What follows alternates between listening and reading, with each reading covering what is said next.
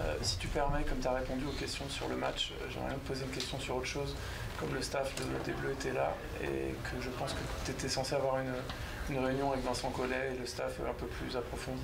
Si tu peux partager quoi que ce soit à propos de ce que vous êtes dit, s'il te plaît. Bien sûr. Euh, bah, évidemment, on a parlé de, de sportifs. Euh, enfin,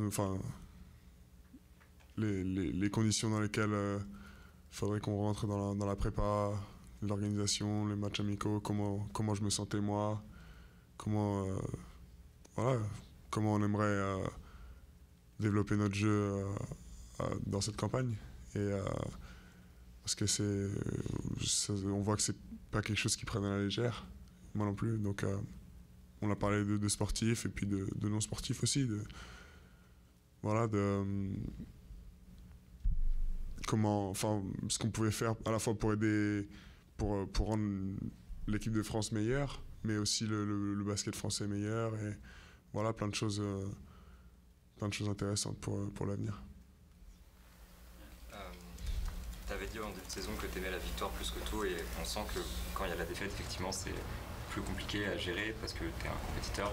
Est-ce que tu peux juste nous expliquer comment tu te sens après ce genre de match Et après, euh, voilà, c'était un match qui était sympa, une affiche sympa contre Bilal. Euh, voilà, voir le match s'échapper comme ça, comment tu te sens?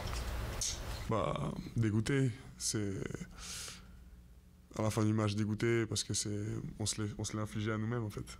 Et euh, de se dire que ça aurait pu. On a eu beaucoup, beaucoup de chance de faire les choses différemment, mais qu'on l'a pas saisi. Et, et, donc voilà, c'est ça, c'est comme ça que je me sens. Euh, Victor, euh, j'ai créé un portrait sur euh, Bilal pour, pour Le Monde. Je te disais encore une petite question sur, sur Bilal. J'aurais voulu savoir où est-ce que tu le situes parmi les meilleurs défenseurs de la Ligue? Parce que beaucoup me disent que c'est parmi les meilleurs défenseurs de la Ligue, mm -hmm. même si c'est un rookie. Ah, c'est une question que je ne me suis pas posée, mais c'est... Euh, déjà, il fait partie des joueurs à qui on peut faire confiance sur 48 minutes et, et euh, sans avoir peur qu'il fasse d'erreurs. Donc ça le met déjà dans le, dans le top. Euh, dans le top, euh, je sais pas, mais. C'est dur à dire, mais au moins, au minimum, dans le quart supérieur de, des défenseurs NBA, ouais, au grand minimum. Merci. Merci.